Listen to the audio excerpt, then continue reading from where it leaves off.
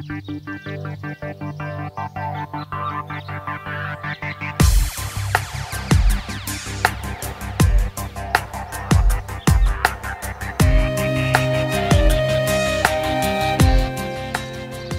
вами так называемый маньчжурский орех. Это дерево меня, я о нем немножко рассказывал, просто опять попалась фотография.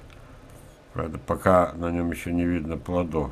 Она уже только где-то после 20 -го года жизни начала давать такие урожаи, что теперь уже приходится торговать этими же орехами. Вот так вот выглядит. Почему еще эту фотографию? Несколько раз, э, когда я начал печататься в Фазенде, а газета была крупная, 70 тысяч экземпляров для Сибири, ой-ой-ой, пошли письма. Так чего вот это там утверждаете, что грецкий орех в Сибири нет? Да он у меня растет. Ну, сами понимаете. Сперва человека обманули, а теперь он еще да, ну, как сказать, они же поздно начинают плодоносить, могут на 15 год.